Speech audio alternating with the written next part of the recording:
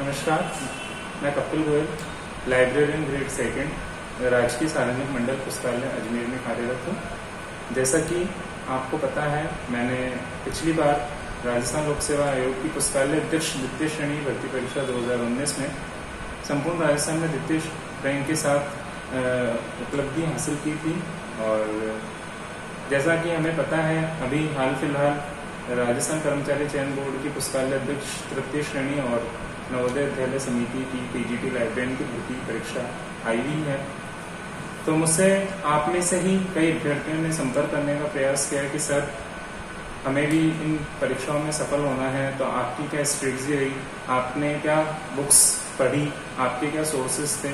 तो वो सब अगर आप हमें थोड़ा गाइड कर दें तो बहुत अच्छा होगा। तो उस हिसाब से मैंने सोचा कि इंडिविजुअली मैं एक एक को नहीं बता पाऊँगा तो यूट्यूब बहुत अच्छा माध्यम है आज के युग में। ज़्यादा से ज़्यादा आप सभी को एड्रेस कर पाऊँ, इसलिए आज मैंने ये वीडियो बनाने का निर्णय लिया है।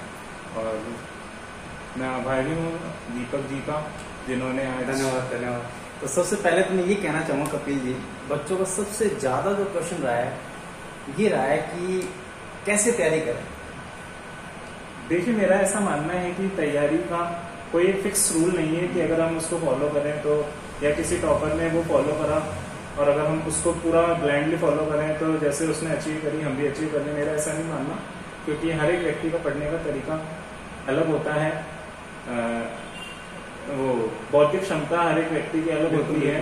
तो उस हिसाब से मुझे ऐसा लगता है कि मैं एक पूरा निश्चित नियम तो नहीं बता पाऊँगा आपको कि उसे फॉलो करने से पर हाँ जो मेरी तैयारी में जैसा लाभदायक रहा मैं वो आपको बताने की तो चलिए कपिल जी से पूरी स्ट्रेटेजी की बात करेंगे। तो यहाँ हम कपिल जी से बात करेंगे जो हाल ही में आरपीसी के अंदर सेकंड ग्रेड में सेकंड रैंक इन्होंने हासिल की तो, तो ये हमें बताएँगे किस प्रकार से स्ट्रेटेजी तो किस प्रकार से आपको बुक लिस्ट का कलेक्शन करना है। ज़्यादा बुक्स ना पढ़नी कम काफ़ी कम टाइम है। मेरे ख्याल से दो महीने हैं हाँ, तो ग्यारह सितंबर तो आप आइडिया लगा सकते हो दो महीने में क्या चीज़ें पढ़ी। काफ़ी यूट्यूब चैनल पे आपको मिल जाएगा। हालाँकि कुछ लोग क्या कहेंगे, कुछ लोग क्या कहेंगे, लेकिन हम उसी टॉपर से बात करते हैं जो इस एग्ज़ाम्स के लिए प्रिपरेशन की। हालाँकि लास्ट में उन्होंने सक्सेसफुली यहाँ पे इसको क्लियर भी किया। आपको पता है काफ़ी बारह वैकेंसीज के लिए काफ़ी बड़ा यहाँ पे उसमें कंपटीशन देखने को मिला था। कोई ज़्यादा अच्छा वो पेपर जो है लेवल उसका जो था, वो काफ़ी अच्छा भी रहा था। तो उसी को लेवल उसी को तर्ज बना के 2018 भी इनका क्लियर है, जो राजस्थान कर्मचारी चयन बोर्ड के द्वारा निकाला गया था। काफ़ी सालों के बाद में लाइब्रेरी वैकेंसीज की आई थी। हालाँकि अब यहाँ पे चार से सात आप देख रहे हैं। तो उसी के तर्ज पे सेकंड ग्रेड लाइब्रेरियन आरपीएससी और आपका थर्ड ग्रेड जो राजस्थान कर्मचारी चयन बोर्ड में निकाला गया, उसी के लेवल पे जो बुक लिस्ट है कि आपको पता है पिछला सिलेबस और आज का सिलेबस काफ़ी डिफरेंट भी यहाँ पे देखने को मिल रहा है और काफ़ी स्टूडेंट्स का ये भी कहना है कि सर हम क्या पढ़े, कहाँ से पढ़े? क्योंकि कंटेंट का इतना उन्होंने वास्ट सिलेबस दिया है तो अभ्यर्थी को ये चीज़ समझ में नहीं आ रहा। हालाँकि कपिल जी काफ़ी एक्सपीरियंस होल्डर है। रेगुलर इन्होंने यहाँ पे जो बैचलर डिग्री है लाइब्रेरी में उन्होंने की है तो आई होप अच्छी से उनको समझा पाएँगे, क्योंकि काफ़ी लोग तो डिप्लोमा लेके आ जाते हैं। एटलीस्ट वो उनको ये पता नहीं होता कि कौन सी बुक चलो उन्होंने एक बुक्स पढ़ी अनफॉर्चुनेटली वो लग गए तो वो एक वो एक स्ट्रेटेजी नहीं कर सकते। इन्होंने प्रॉपर स्ट्रेटेजी की प्रॉपर अपना करियर को यहाँ पे इन्होंने डिप्लोमा रेगुलर इन्होंने किया। तो ये अब उनको अच्छे से बता पाएँगे। देखिए दोस्तों, मैं आपको कहना चाहूँगा कार्बन मिस्ट्री के ऑनलाइन पोर्टल पे आप सबका स्वागत करूँगा और आपसे ये भी कहना चाहूँगा कि इस वीडियो को ज़्यादा ज़्यादा उन एस्पायरेंट तक पहुंचाएँ जो लाइब्रेरियन की या फिर कोई भी राजस्थान के अंदर कॉम्पिटेटिव एग्ज़ाम्स की प्रिपरेशन कर रहे हैं। तो इस प्रकार के स्ट्रैटेजी जो वीडियोज़ हैं, काफ़ी आपके लिए हेल्पफुल होंगे। तो आप चैनल को ज़रूर सब्सक्राइब और लाइक बटन करना बिल्कुल ना भूलें। तो चलिए कपिल जी से वापस अपन बात करते हैं। उनकी जो जर्नी जो रही है और ये सफलता जो इन्होंने हासिल की है तो उसके बारे में हम बात करना चाहेंगे और उसके बाद में हम बात करेंगे बुक्स के बारे में। एक आपको सिलेक्टेड बुक ये बताएँगे और आई होप वो बुक्स काफ़ी हेल्पफुल है, मैंने उनको देखा है तो आप वो ज़रूर उसको फॉलो करें। तो चलिए कपिल जी, आप अपनी थोड़ी जर्नी शेयर किए कर दीजिएगा अभ्यर्थियों के साथ में, ताकि वो समझ पाए कि हम किस लेवल पे और हमें पढ़ना चाहिए या फिर क्या चीज़ हमने नहीं पढ़ी और किस प्रकार से हमने इसको और अच्छे से दो महीने में किया जाए। तो वो चीज़ आप यहाँ पे शेयर करें। तो सबसे पहले आप अपनी जर्नी बताइए, क्या रहा आपकी जर्नी में? कैसा मतलब कि फीलिंग रही आपकी और आज कैसी फीलिंग है? वो थोड़ा सा आप काफ़ी कंप्राइज फीलिंग बताइए। देखिए, जहाँ तक जर्नी की बात है तो अभी तक का सफ़र। मैंने पिछले साल 11 जून को ज्वाइन किया था और आज 11 जुलाई यानी कि करीब 13 महीने पूरे हुए हैं। तो ये 13 महीने का सफ़र काफ़ी अच्छा रहा, बहुत अच्छा सीखने को मिला और आपको पता है राजकीय सेवा में आने के बाद व्यक्ति के जो सोचने और विचारने की जो क्षमता है, उसमें भी काफ़ी हद तक इम्प्रूवमेंट होता है। तो अभी तक का सफ़र काफ़ी अच्छा रहा। और जहाँ तक इससे पहले का सफ़र जब मैं तैयारी कर रहा था तो काफ़ी चुनौतीपूर्ण था, क्योंकि एग्ज़ाम पहले भी दिए थे, लेकिन चंद अंगों से मैं रह गया, असफलता मिली। धीरे धीरे फिर उसको स्वीकारना और आगे फिर इम्प्रूव करना। तो मतलब मैं कह सकता हूँ कि अगर आप असफलता से निराश नहीं होते और कंटिन्यू अगर आपकी सही डायरेक्शन में प्रिपरेशन है तो डेफिनेटली आपको सक्सेस मिलेगी। मेरा ऐसा मानना है। लाइब्रेरी साइंस की जहाँ तक बात है तो मैंने ट्वेल्थ के बाद डिप्लोमा किया। मतलब मैं ग्रेजुएशन कर रहा था बीए अजमेर से ही। अजमेर में ही मैं पढ़ा हूँ। उसके बाद मैंने ट्वेल्थ के रेगुलर ट्वेल्थ करी, उसके बाद मैंने कॉलेज कंटिन्यू रहा मेरा बीए इसी दौरान मैंने वर्धमान ओपन से डिप्लोमा का फॉर्म भर दिया। तो 2014 में मैंने डिप्लोमा किया। उसके बाद मेरी ग्रेजुएशन हुई, तब मैंने बीलिप का फॉर्म फिल कर दिया और बीलिप किया। लेकिन इसी दौरान जब मैं ग्रेजुएशन किया मैंने 2016 में, उसी दौरान सबसे पहले राजस्थान में कर्मचारी चयन बोर्ड ने पाँच पदों के लिए तृतीय श्रेणी परीक्षा आयोजित की। 2018 2016 में? अच्छा, पहले वाली। सत्रह में मतलब 2016 में उसका नवंबर में पेपर हुआ था। अच्छा वो भी आपने दिया? वो भी मैंने दिया क्योंकि मेरा डिप्लोमा कंप्लीट हो गया था 2015 में। लेकिन देखिए डिप्लोमा जो हम कोर्स करते हैं वो एक अलग चीज़ है और प्रतियोगी परीक्षा की तैयारी अलग चीज़ है। लेकिन उस समय मुझे इतना एक्सपीरियंस नहीं था तो मेरा उस वक्त नहीं हुआ। उसके बाद मैं डिप्लोमा ये डिग्री कर रहा था मैं बैचलर्स की वर्धमान से इसी इसी दौरान केंद्रीय विद्यालय की डीजीटी लाइब्रेरी में जो वैकेंसी आ गई तब मैंने उसका भी फॉर्म फिल किया कंटिन्यू अपनी तैयारी करी। मेरा पहली बार में रिटर्न निकल गया केंद्रीय विद्यालय का लेकिन उस वक्त इंटरव्यू था तो मैं फिर वापस इंटरव्यू में कुछ अंकों से रह गया। तो काफ़ी मुझे फील हुआ कि दो बार अपन ने तैयारी करी लेकिन नहीं हुआ। केंद्रीय विद्यालय का इंटरव्यू हुआ उसका रिज़ल्ट आया उसके कुछ टाइम बाद ही थर्ड ग्रेड की जो वैकेंसी थी दोबारा आ गई। दो हज़ार अठारह वाली। हिसाब से तब मैंने सोच लिया था कि आपकी बार तो कुछ भी हो करना ही है। फिर मैंने कंटिन्यू तैयारी उसकी स्टार्ट करी। और इसी दौरान फिर नवोदय विद्यालय की भी आ गई वैकेंसी तो मैंने सोचा कि चलो दोनों की ही करते हैं फिर। और जैसे इसी साल आई हुई है नवोदय हाँ, मतलब इसी जैसे अभी की बार नवोदय और वो थर्ड ग्रेड साथ आए हैं तो उस समय भी यही था। फिर उस वक्त मैंने किया और थर्ड ग्रेड का पेपर दिया लेकिन पेपर तो बहुत अच्छा हुआ लेकिन पता चला कि वो पेपर आउट हो गया। अब आप देखिए दो बार असफल रहा और जब आपका पेपर अच्छा हुआ सफलता मिलने वाली है और पता चले कि पेपर आउट हुआ तो आप सोच सकते हैं कि क्या बीतती है उस व्यक्ति पे जो काफ़ी समय से इस संघर्ष में लगा हुआ था। तो फिर भी मैंने कहा, चलो, ईश्वर को और कुछ अच्छा मंजूर हुआ। तो उसके बाद मैंने फिर बीच में नवोदय का पेपर हो गया तो मैंने वो नवोदय का पेपर दिया, उसका रिज़ल्ट आ गया और मुझे क्वालिफाई कर लिया गया। फिर इसी बीच जो थर्ड ग्रेड का पेपर आउट हुआ था, उसका दोबारा पेपर लग गया। और उसी दौरान आरपीएससी की सेकेंड ग्रेड जो हमारे डिपार्टमेंट है, भाषा पुरस्कार विभाग की बारह पदों के लिए आ गई। तो उस वक्त ऐसा लगा कि पोस्ट बहुत कम है इसमें तो कहाँ होगा। लेकिन ये था ना कि अपन थर्ड ग्रेड भी कर रहे हैं नवोदय भी कर रहे हैं तो फॉर्म फिल करने में क्या रहता है? तो उसका भी मैंने फॉर्म फिल कर दिया सेकेंड ग्रेड का। और फिर थर्ड ग्रेड का मतलब सेकेंड ग्रेड का पेपर तो अगस्त में हुआ। नवोदय से पहले मेरा हो गया था, लेकिन रिज़ल्ट नहीं आया था तो मुझे पता था कि नवोदय भी क्लियर हो जाएगा। सेकेंड ग्रेड का अगस्त में हुआ और थर्ड ग्रेड हुआ सितंबर 2019 में। तो सेकेंड ग्रेड का पेपर मैंने दिया तो बहुत ईजी था मुझे लगा शायद इंटरव्यू तो कॉल होना ही चाहिए। सेप्टेम्बर में फिर थर्ड ग्रेड हुआ तो थर्ड ग्रेड का भी मतलब ये था कि पेपर तो पिछली बार से काफ़ी लेंदी था एक तरह से मतलब ज़्यादा टफ नहीं था लेकिन ये था कि जिन्होंने अच्छी तैयारी की है ना काफ़ी टाइम से हो जाएगा। उनका हो जाएगा। तो मैंने फिर थर्ड ग्रेड का भी दिया तो अब मेरे पास मैंने तीन पेपर दे दिए थे आप देख लीजिए। बिल्कुल सेकेंड ग्रेड भी दिया नवोदय भी दिया उसी साल शायद। और ये थर्ड ग्रेड में थर्ड ग्रेड में दिया अब सबसे पहले जो रिज़ल्ट आया वो आया थर्ड ग्रेड का। तीन गुना का रिज़ल्ट आया था तो मुझे लग रहा था मेरा हो गया और कट ऑफ़ से मैं मानता था मैं काफ़ी ऊपर हूँ तो मेरा फाइनल मेरिट लिस्ट में भी हो जाएगा। इसी दौरान नवंबर में फिर सेकेंड ग्रेड का भी रिटर्न का रिज़ल्ट आ गया तो मेरा उसमें भी हो गया था इंटरव्यू बाकी। और फिर नवोदय का भी आ गया तो उसका भी एक था कि इंटरव्यू होगा लेकिन बाद में फिर वो इंटरव्यू नहीं हुआ उन्होंने खाली उसी मेरिट में बना लिया। केवल इंटरव्यू हटा दिया और खाली जो रिटर्न का बेस था कंप्यूटर बेस्ड उसी पे मेरिट बना ली। लेकिन उसी, उससे पहले ही मेरा सेकेंड ग्रेड का इंटरव्यू हो गया था तो मुझे लग रहा था शायद इसमें मैं क्लियर कर लूँगा और फिर यही हुआ कि मेरा थर्ड ग्रेड भी क्लियर हुआ सेकेंड ग्रेड भी क्लियर हुआ, नवोदय भी क्लियर हुआ। यहाँ से देख सकते हैं किस प्रकार से इन्होंने अपनी जो सफलता है, उसके मंत्र आपको पढ़ाए। तो चलिए बात करते हैं इनकी स्ट्रैटेजी तो आपने देख ली किस प्रकार से किस माहौल से निकले, कैसे इन्होंने प्रिपरेशन किए और किस प्रकार से इन्होंने जो तजुर्बा है लाइफ का, जो सक्सेस पाने के लिए हर कैंडिडेट करता है तो वो इन्होंने आपके सामने शेयर किया।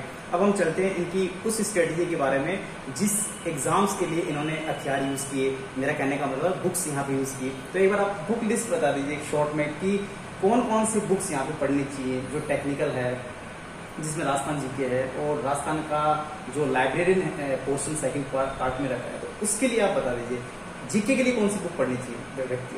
जीके के लिए मैंने लक्ष्य के दोनों वॉल्यूम और पैनोरमा के दोनों वॉल्यूम पढ़े। इसके अलावा जो जितने भी आरपीएससी के और राजस्थान चयन बोर्ड के जो पेपर हुए हैं, उसमें जो राजस्थान जीके का पार्ट है, वो मैंने पूरा सॉल्व किया उनकी वेबसाइट से, मैंने क्वेश्चन पेपर डाउनलोड करके। पिछले जितने भी पेपर हुए हैं ना सारे मैंने पंद्रह बीस साल के। तो आप देख सकते दो महीने का टाइम है तो मेरे ख्याल से लक्ष्य तो काफ़ी बड़ी होगी। तो और भी इसका कोई है क्या? जिससे राजस्थान जी के एटलीस्ट आजकल 40 नंबर मिनिमम क्वालिफाई यहाँ पे हो चुका है। उस टाइम में नहीं था। कुछ लड़के यहाँ से ज़्यादा नंबर गेन कर लेते थे वहाँ से कम कर लेते थे।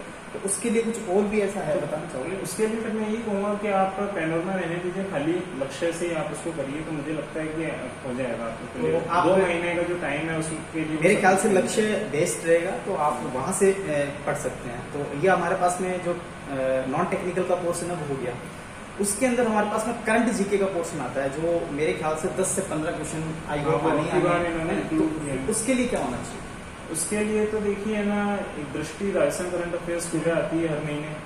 अगर लेकिन वो तो मंथली है तो बच्चे तो एक काफ़ी कहाँ से उसको पहले ही लेंगे तो? मेरे हिसाब से जहाँ तक करंट अफेयर्स का है अगर सितंबर में पेपर है तो मुझे लगता है शायद जनवरी से ही अगर हम जनवरी से ही पढ़ना चालू करें ना इस साल का ही करंट तो, तो उसके लिए कौन सी उसके लिए देखिए अगर पुराने दृष्टि राशन टूडे के मिल जाए आपको करंट अफेयर्स के तो वो बेटर है। नहीं, इसके अलावा अगर मूमल का आता है तीन महीने, छह महीने की तो मूमल वार्षिकांक मेरा कहने का मतलब आप ले सकते हो। एक साल का करंट जीके आई होप वहाँ से क्लियर हो जाएगा। ज़्यादा बड़ी बुक्स नहीं आई होप 200 पेज की है, मेरे ख्याल से आप निपटा लोगे तो उसके बाद में यहाँ पे आता है एक पैडागोजी यहाँ पे जोड़ा गया है। तो उसके लिए भी यहाँ पे 10-15 क्वेश्चन यहाँ पे रखेगा आर बोर्ड हालाँकि इससे पहले जो एग्जामिनेशन देखे गए हैं कुछ दिन पहले कंप्यूटर इंस्ट्रक्टर का हुआ है तो वहाँ पे इससे क्वेश्चन नहीं पूछे गए वो भी एक बड़ा लैब असिस्टेंट का भी एक लैब असिस्टेंट का तो वहाँ से भी नहीं पूछे मनोविज्ञान का मुझे लगता है कि धीर सिंह भाई की जो बुक आती है शिक्षा मनोविज्ञान की वो मुझे लगता है सफिशियंट रहेगी। क्योंकि थर्ड ग्रेड की बात है तो अगर इसके अलावा अगर हम जो रीड के पेपर हैं थर्ड ग्रेड जो टीचर के लेवल के जो पेपर हैं या केंद्रीय विद्यालय की जो पीआरटी और नवोदय विद्यालय के जो पेपर होते हैं वो उसमें अगर हम साइकोलॉजी का पार्ट पूरा कर लें तो मेरे हिसाब से वो सफिशियंट है। तो वो तो सर काफ़ी बड़ा हो गया। मतलब कि दस नंबर के लिए फिर बच्चों को दो महीने तो, तो फिर उसके लिए तो यही एक बार अपन थोड़ा सा भीषण धाबाई की बुक जो अभी रिसेंट में पेपर हुए हैं जैसे रीड का हुआ है। पिछले साल वो अगर हम कर लें तो हमें थोड़ा सा आइडिया हो जाएगा कि साइकोलॉजी में किस तरह के प्रश्न पूछे जा रहे हैं। तो मुझे लगता है कि शायद वो सफिशियंट रहेगा ठीक है। टाइम को देखते हुए। और उसके बाद में एक यहाँ पे पोर्सन अभी हाल ही में देखा है कि वर्ल्ड और इंडिया का जीके भी यहाँ पे एड करते हैं। तो उसका क्या यहाँ पे रोल रहेगा? क्या रहेंगे दस पंद्रह क्वेश्चन यहाँ पे उसमें?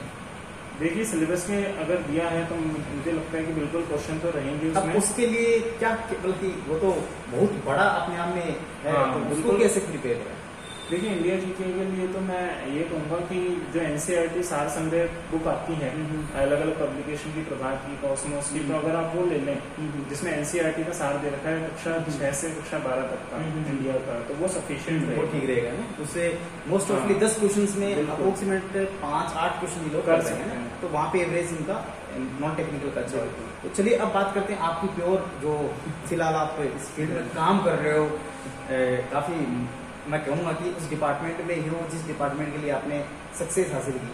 तो इसमें बताइए आप प्रॉपर जो बुक्स है क्या रहनी चाहिए?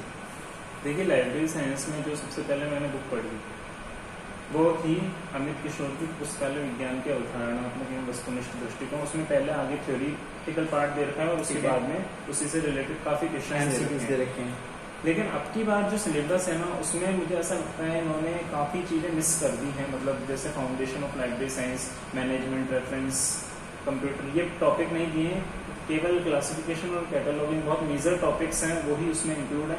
तो मैं यही कहूँगा कि जो पुस्तकालय विज्ञान वस्तुनिष्ठ अवधारणात्मक दृष्टिकोण वाली जो बुक है, उसमें आप केवल पुस्तकालय वर्गीकरण और सूचीकरण का पार्ट ही करिए। ज़्यादा पढ़ने की ज़रूरत नहीं है, क्योंकि सिलेबस में अपनी बार वो इंक्लूड नहीं है। इसके अलावा जो मैंने पढ़ी है वैसे तो मैं हिंदी मीडियम का स्टूडेंट रहा हूँ, लेकिन लाइब्रेरी साइंस के लिए मैंने इग्नू की बुक्स भी पढ़ी थी बी एल आई एस की। तो मैंने तो उस समय सिलेबस के हिसाब से पूरी बी एल आई एस की बुक्स पढ़ी, लेकिन अब की बार जैसे क्लासिफिकेशन और कैटलॉगिंग ही दे रखा है। तो उसके लिए भी बी आई एस की क्लासिफिकेशन कैटलॉगिंग की बुक आती है थ्योरी की और प्रैक्टिकल की। तो वो पूरी करिए, वो इसके लिए बहुत ही लाभदायक रहेगी। और जो हिंदी में जो हमारे स्टूडेंट्स हैं जो हमारे कैंडिडेट्स हैं जिनकी इंग्लिश इतनी अच्छी नहीं है हमें हाँ, भी हिंदी मीडियम ही है तो हिंदी मीडियम हाँ, तो को ज़्यादा प्रीफर इग्नू भी अगर वो नहीं कर सकते तो उसका एक विकल्प था उत्तर प्रदेश राजश्री टंडन ओपन यूनिवर्सिटी है यूपी आर टी यू उसकी भी बुक ऑनलाइन अवेलेबल है बी एल आई एस की काफ़ी अच्छा उसमें मैटर दे रखा है और उसमें इग्नू से ही रेफरेंस दे रखा है काफ़ी चीज़ें। सिमिलर है इनकी। तो उसके लिए आप उसी U P R T O U की जो वेबसाइट है वहाँ से आप बी एल आई एस को डाउनलोड करके कोर्स और उसमें पुस्तकालय वर्गीकरण सूचीकरण का पार्ट पूरा करें अच्छा एक एन आई ओ एस में हिंदी मीडियम नहीं है हिंदी मीडियम की है बुक्स उसमें भी।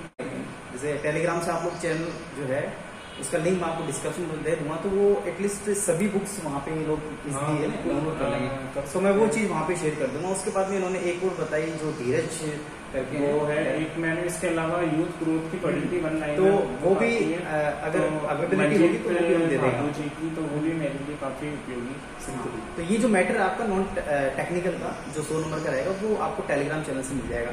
तो दोस्तों ये हमारे पास में आज की स्ट्रेटेजी अच्छा और कुछ आप कहना चाहेंगे कि इसके अलावा कुछ बुक करनी चाहिए इसके अलावा मैं ये कहना चाहूँगा कि आप एक संतोष कुमार की बुक आती है आई टी रुड़की के नाम से उन्होंने जितने भी लाइब्रेरी साइंस के पेपर हुए हैं नेट के स्लेट के अदर स्टेट के जो लाइब्रेरी साइंस से रिलेटेड एग्ज़ाम है, उनके सारे जितने भी क्वेश्चन हुए उनको कंपाइल करके बुक बनाई है तो वो काफ़ी अच्छी है। कहीं से भी आप वो करिए, और इसके अलावा अगर आपको पुराने क्वेश्चन पेपर जितने भी सॉल्व करने का मौका मिलेगा तो उन्हें छोड़िए मत। क्योंकि मैंने बहुत क्वेश्चन पेपर बहुत टेस्ट सीरीज़ ऑनलाइन ले लेकर ले लेकर कहीं ना कहीं से कलेक्ट करके बहुत ज़्यादा से ज़्यादा सॉल्व करी तो मुझे लगता है कि वो बहुत ही मेरे लिए सिद्ध हुई काफ़ी क्वेश्चन थे जो कहीं ना कहीं से या किसी न किसी तरह से रिपीट हुए अच्छा अभी जो एक मार्केट में धरोहर करके बुक चल रही है इसमें एमसीक्यू बेस्ड वो कैसी है आपने नहीं वो मैंने देखी नहीं है लेकिन अच्छा। अगर देखने में ऑथेंटिक चीज़ें। मिलना बहुत ज़रूरी है। क्योंकि अगर हम कैफ़े पब्लिश किसी भी पब्लिकेशन की अगर बुक लेते हैं तो हमें पता नहीं होता ना कि इसमें एरर्स कितनी है टाइपिंग एरर कितनी है। तो हम क्या है एक बार तो ऑथेंटिक हमें इग्नू या यूपीआरटीओ को पढ़ना है ताकि हम दोबारा कोई प्राइवेट पब्लिशर की बुक पढ़ रहे हैं तो हमें वो आइडिया हो जाएगा कि हाँ इसमें कुछ गलती है। अगर हम सीधे ही ऐसे प्राइवेट पब्लिकेशन को पढ़ेंगे या कोई ऐसी गाइड पढ़ेंगे जो हमने पहले कभी पढ़ी नहीं अपने कोर्स के दौरान तो हम उस कैसे ये डिसाइड करेंगे कि उसमें जो लिख रहा है वो बिल्कुल सही है? तो हो सकता है हम मेहनत भी कर रहे हैं और गलत नॉलेज हमें मिलता है इसके अलावा कुछ नहीं पढ़े। इसके अलावा बस मैं तो मेरे ख्याल दो रिवीजन हाँ दो महीने में मतलब कि मोस्ट ऑफली एक तो इनको लक्ष्य की बुक बिल्कुल आप ले सकते हो ना करंट जीके की जीके के लिए। और एक मुमल ले सकते हैं। बिल्कुल। और पैडागोजी के लिए आप इधर उधर से देख सकते हैं। और एक जो इंडिया और वर्ल्ड का जीके वाला है वो वो एनसीआरटी एनसीआरटी आप ले लेंगे। इधर आप टेक्निकल की बात करें जो कि पेपर सेकंड यहाँ पे रहने वाला है तो उसके अंदर जैसे सर ने बताया एनआईओएस का मैटर है। हाँ एनआईओएस का नहीं तो उससे भी अच्छा है इग्नू का और यूपीआर हाँ, इग्नू या फिर में इसलिए नहीं कहूँगा क्योंकि उसमें काफ़ी एरर्स हैं हम्म। और वो काफ़ी समय से अपडेट नहीं हुई है बुक्स अच्छा इसलिए मैं वीएमओयू को रिकमेंड नहीं तो ये चीज़ें आप पढ़ सकते हैं। इसके अलावा जो मार्केट में काफ़ी बुक्स हैं तो इन चीज़ों का तो इन्होंने शेयर नहीं करेंगे क्योंकि इन्होंने यूज़ ही नहीं की तो इनको पता भी नहीं है। और मे भी अभी तक जिन कैंडिडेट से मैंने देखा है तो वो यही कह, कहते हैं कि मोस्ट ऑफली जो ऑथेंटिक बुक्स है वही आप पढ़े इसमें क्योंकि एरर काफ़ी यहाँ पे रहती है। और डायरेक्ट एग्ज़ाम्स में क्वेश्चन पूछते हैं। एक इन्होंने बताया कि ओल्ड क्वेश्चन आपको यहाँ पे सोल्व करना है। जैसे इन्होंने बताया संतोष सर करके है ना तो वो आप बुक्स ले सकते हैं वहाँ से आपको एमसीक्यूज मिल जाएँगे ना। जितने भी एग्ज़ाम्स यहाँ पे स्टेट के या फिर सेंटर के हुए तो वो है तो वहाँ से आपको एमसीक्यूज बन जाएँगे। तो आशा करता हूँ आपको वीडियो काफ़ी अच्छा लगा होगा दोस्तों। इसी प्रकार से आप चैनल पे बने रहें और साथ ही हम नेक्स्ट कैंडिडेट का भी इंटरव्यूज़ जल्दी यहाँ पे शेयर करेंगे। Thank you